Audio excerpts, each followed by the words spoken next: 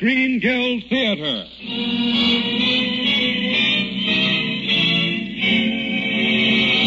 The director of the Gulf Theater and your host, Roger Pryor.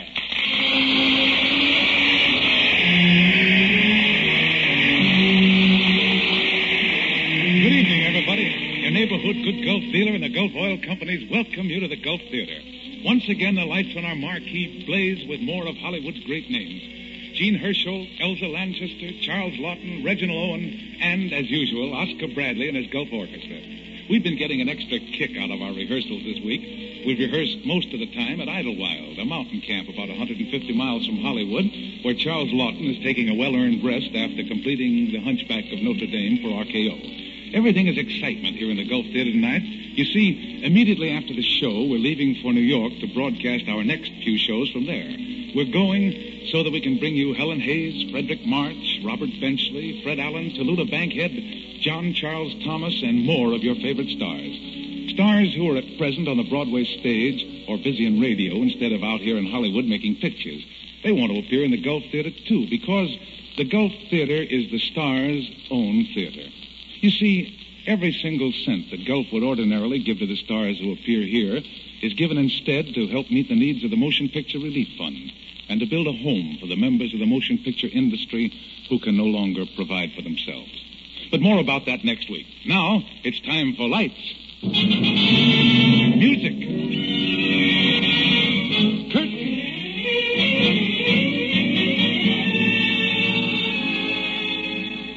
The scene of our play, The Beachcomber, is a small speck of a tropical island, and here we meet Ginger Ted, a dissolute beachcomber impersonated by Charles Laughton. His friend Gruyter, the Dutch controleur of the island, is played by Jean Hersholt. Ginger's enemies are two people who are devoting their lives to humanitarian service. Martha Jones, played by Elsa Lanchester, and her brother Owen, enacted by Reginald Owen. Our curtain rises on the courtroom. The controleur is the judge, and Ginger the prisoner. Miss Jones and brother Owen are his accusers. Order in the court. Order in the court. Well, Gin... Hmm, Mr. Wilson, what is it this time? Oh, I wrecked the Chinaman's shop and bashed the sergeant right enough. But look at the provocation I had. If he's referring to my sister... Yes, that old clothesline ties me up in knots every time she comes anywhere near me. Mein Herr Gruyter, I... Owen, I can defend myself. Yeah. Mr. Wilson, you are the prisoner if you follow me. Now, Miss Jones. Miss Dog in the manger. Evil communications corrupt good manners. I warned you, Wilson. Go on, Miss Jones. I found the prisoner in a wine shop with one of my pupils. He was inciting her to be wicked. Yeah, and she hit me with an umbrella. Old hen scratching away at other people's business. We are trying to help these people find the truth. But how are we to guide them if this so-called white man mocks at us? You sentimental suction pump. Taking all the fun out of life. That man is a peril to women. And you're a thorn in the flesh of man. Mr. Gruyter, I am not on trial here. Are those noises in order, Mr. Gruyter? There he goes again. Order. Order, please. Now, Miss Jones, in regards to Ginger, what would you suggest? Deportation. I'm sorry, but it's necessary. Uh, perhaps you're right. Deport me? Hey, I'll pay, pay for the Chinaman stuff I broke if he'll give me time. Mm, you'll pay for the damage, all right. But it's me who'll give you the time. And that'll be three months Hey, for me? at hard labor What did you say? on the road gang. Who? Me? Let me go. Order! Order the court!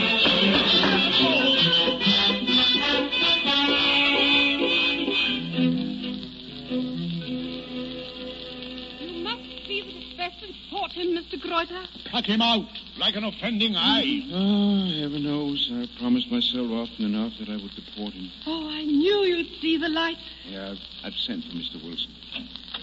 Oh! Oh, come on. I can't bear to be near that man. Good day. Come here, Ginger. It does stick in my craw. You giving way to that twitty twerp. Ah, sit down. Beer? Yeah. Don't mind if I do. Prosit. Down the hatch. Have one of your own cigars. Oh, thank you. Oh, Ginger, I don't know what to do with you. Neither did anybody at home. I was a problem child. Can't you control yourself?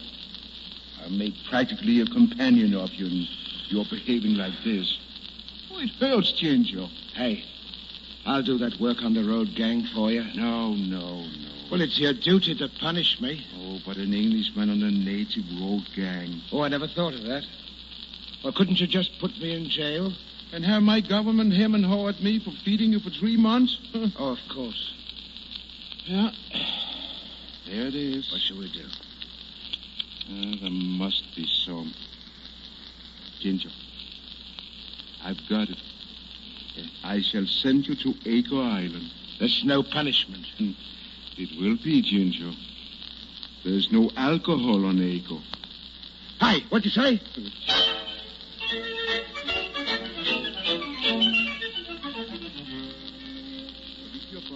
Brother's down with malaria, Miss Jones, wouldn't it be better if I stayed for dinner some other No, night? no, no. no. You haven't been near us since the trial a fortnight ago. It isn't at all inconvenient, Mr. Gruyter. Who is it, Martha? It's the Comptroller, dear. Oh, well, leave the door ajar, sister, then I can chaperone you. Yes, Owen. I've got a real English dinner for you tonight. Mein Herr Kontrolleur. Yes? Von der Dandes des Fahrtsverlogers. Wir kommen dann her und sagt, dass der Kapal Aldar woer in Signet Buik heftat. Well, what does he say? The chief on Acre Island has a little appendix. Appendicitis. It'll have to be operated on at once. Well, since your brother's in bed with fever, I'm afraid the appendix will have to... You can't move an appendix, can you? Oh, I've helped Owen scores of times. Of An acute course. appendix is nothing to dawdle over. I know, the poor soul might die. I'll, I'll get the necessary things together straight away. I'm thankful that woman is not a sister of mine. The chief will now be well and strong, Nana Jones. Yes, Sergeant. I may say the chief's operation was very successful. Oh, I've always liked Agar Island. I think I shall take a little walk while we're waiting for the launch. Nature's so uh, natural, isn't it?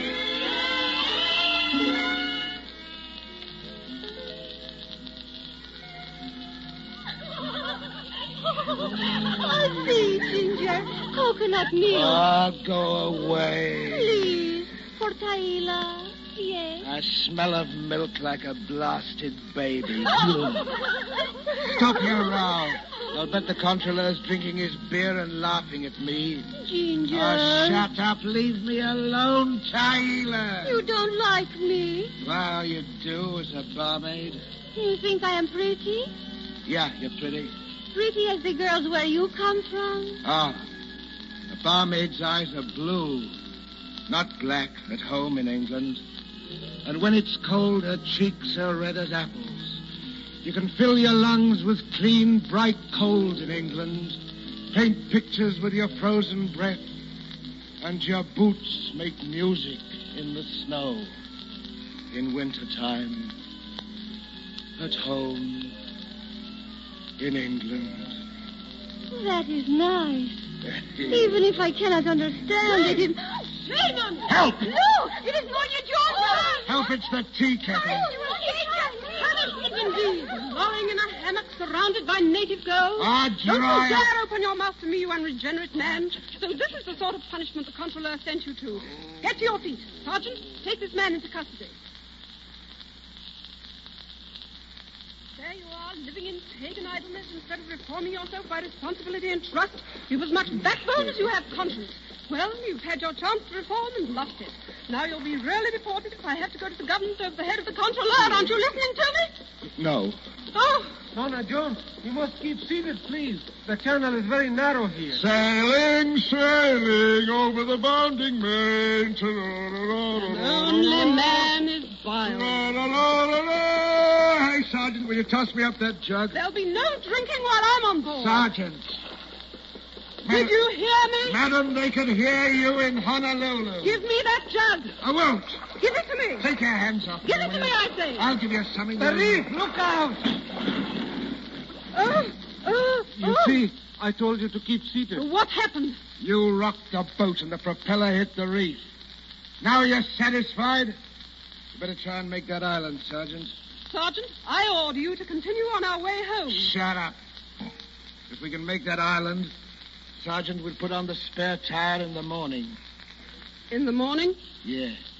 does, does that mean that we shall have to stay here all night? Yeah, you got it. Even you must realize I can't spend the night on an uninhabited island with two men. Do I have to draw a diagram of it Oh, for you? no, no, no, no, it's quite impossible. I said it's quite, quite impossible. I'll wait ashore and carry you. You'll get a bit wet, but when we get there, you can take off your skirt and dry out. Mr. Wilson, you must have a mother or a sister, perhaps. Here. Oh, please, please let me go. Oh, stop yowling and save your breath. Sailing, sailing over the mountain range.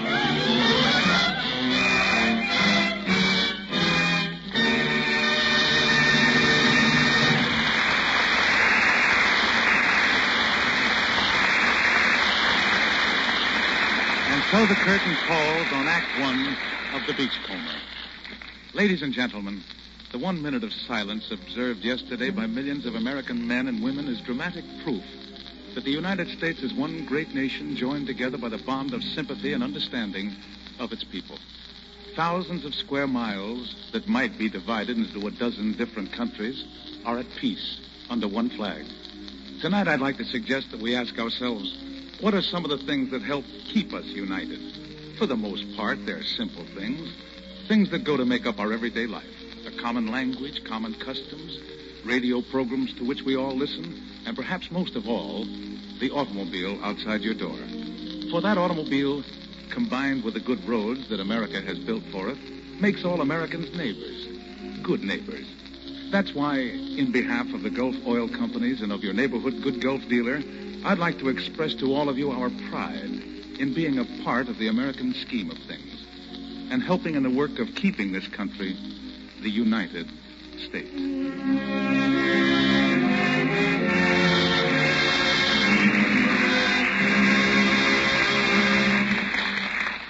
The curtain of the Gulf Screen Guild Theater is about to rise on the second act of The Beachcomber, starring Charles Laughton, Elsa Lanchester, Jean Hersholt, and Reginald Owen. Lights. Music. Curtain.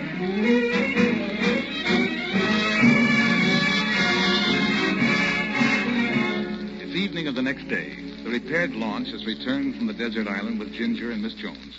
Ginger is having dinner with the controller. You talk to you are blue in the face, Ginger. But I don't believe It you. was awful on Agor Island. Ah, you are a liar. Have you ever lived for three months on coconut milk? Well, no. But, uh... Who's that? Sounds like that blasted brother of Miss Jones. Oh. Oh, there you are. Yeah. You must excuse me for dashing in. But when I heard Wilson was here, I simply had to come. Wilson, thank you. Thank you, Wilson. You've done a great and noble thing, Wilson. I beg your pardon? My sister Martha was right. There is so much good even in the worst of us. I misjudged you, Wilson, and I beg your forgiveness from the bottom of a very full heart. Guy's feverish, Consular. He had my sister at his mercy on that lonely, uninhabited island, and he spared her. What? We see him now in his true colors at last. Don't we, Consular? What? May God bless and guard you, Mr. Wilson. You must excuse me for dashing away so quickly, but my sister's not quite herself. Edward. I may call you Edward.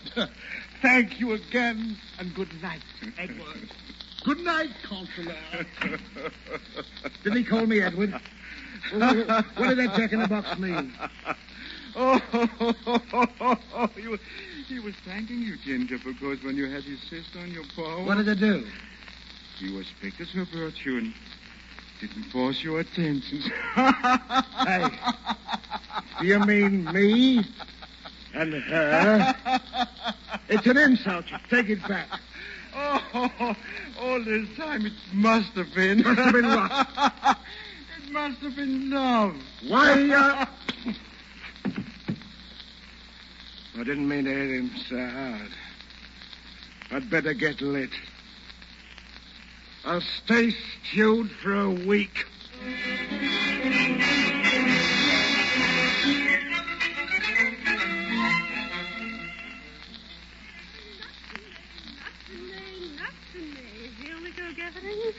Oh, yes, yes.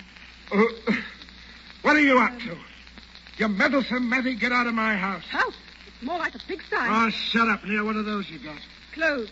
My brother thought you might not be offended if we lent you something so that you could come and dine with us. Oh, he did, did he? Well, I'll bet you put him up to it. Mr. Wilson, my brother and I count ourselves your friends, and we consider that you need help, and helped you will be whether you like it or not. Uh. Now let's have no more nonsense. Wash and shave yourself, and put on these clothes and come to our house for dinner.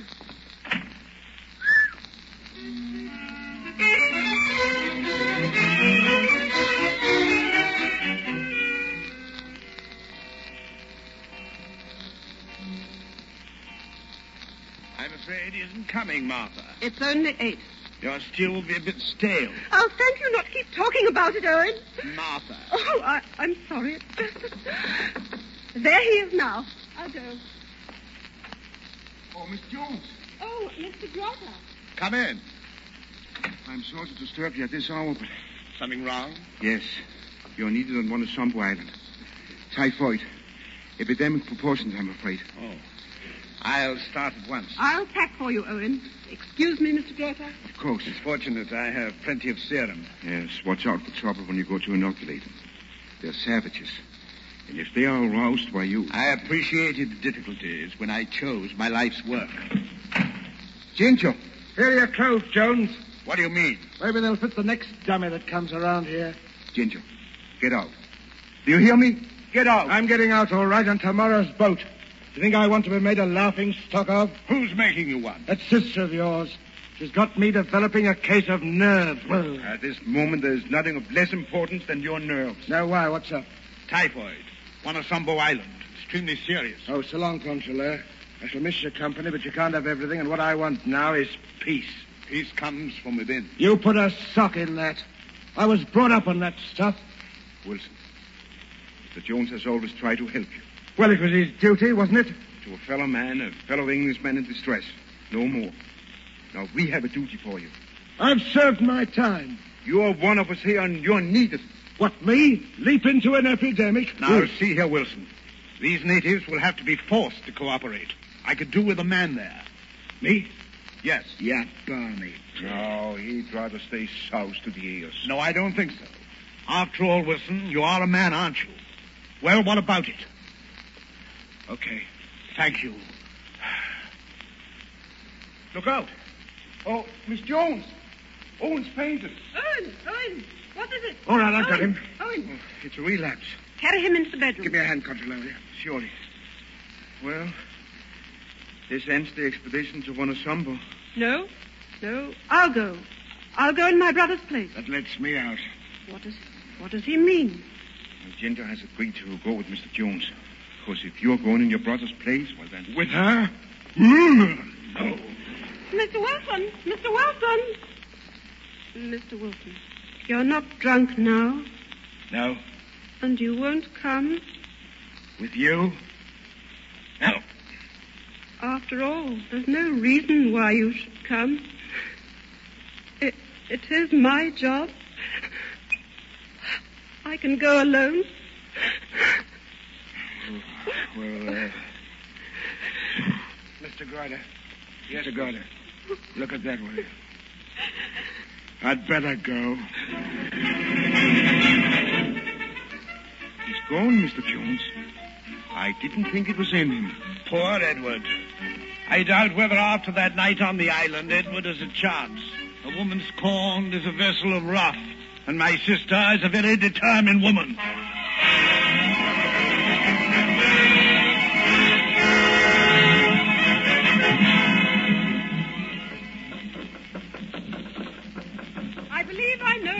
Nightingale felt when she landed in the Crimea. In style. I shall begin the inoculations at once, Mr. Wilson. Uh-huh.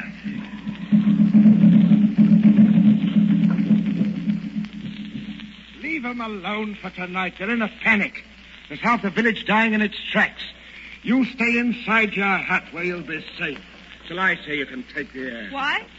Well, because, because you need to be taken care of. But I'm not afraid. Look here now, you hit the hay. Huh?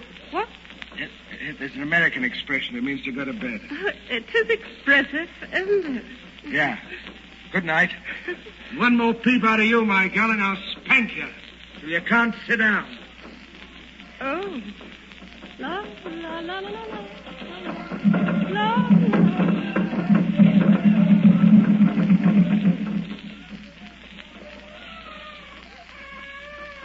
Matter with that kid? Is it typhoid? It may be. It's difficult to make a rose rash diagnosis on such dark skin. What are you going to do? Inject serum. Okay, but mightn't that stop... Will you wash your hands, please? Yes, but she's the headman's daughter. Listen. You see, they're getting restless already. If she should die after a shot of that, it'd be us who'd killed her. It'd be sticky for us, you know. Will you wash your hands, please? Yes, ma'am.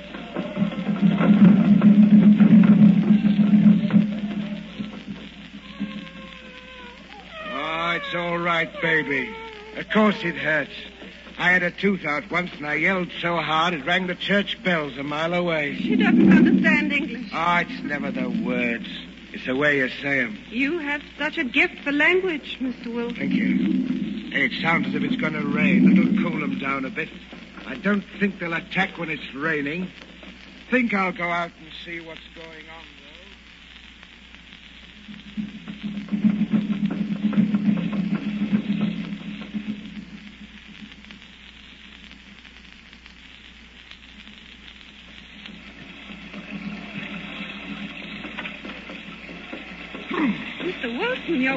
through.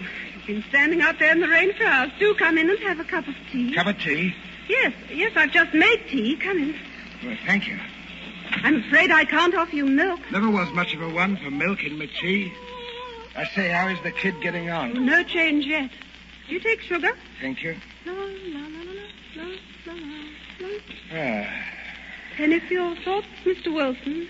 You know, it's sort of swank sitting down to tea in this godforsaken spot. It's not godforsaken now, Mr. Wilson. There. I hope you like this. Yeah, you look fine. Oh, you you mean this old thing I'm wearing? I, I meant the tea. Yeah. Do you, do you mind if I, uh, smoke? Uh, no. Edward? Thank you, Martha. Look here, would you mind if I told you something? No. Before it's too late, I, I'd like to tell you why I've carried such a chip on my shoulder about What's that? It's a spear. Get back from the window, will you? Oh, they're like a lot of kids. When I was a kid, I used to march around the house yelling and walloping a drum. I'm sorry I got you into this. Blasted woman's place is in the home. I say, are you laughing at me? No, no, I never have. You haven't? I don't really mind, you know. I'm used to it. I was the fat boy. Was the fat boy at school. Uh, they used to call me Jack Spratt. Jack Spratt could eat no fat. His wife could eat no. Oh, I mean, of course, I didn't mean. Oh, that's all right. We keep the platter clean anyway. Hmm, One does have to think of expenses, I suppose. Hey, let me tell you that argument that two can live as cheaply as one is so much twaddle. Oh, I'm not prepared to admit that. It's simply a question of household management. Yeah, with a manager getting all the salary. Does that mean you've been married? What, me married? Bro. What's the matter with it? You've only got to look at the papers. Look, look, her fever's broken. Hey, you sure? Yes, see, look, look, she's smiling. Hey! Hey, Chief! Chief! Your kid's gonna get better! Hey, Chief!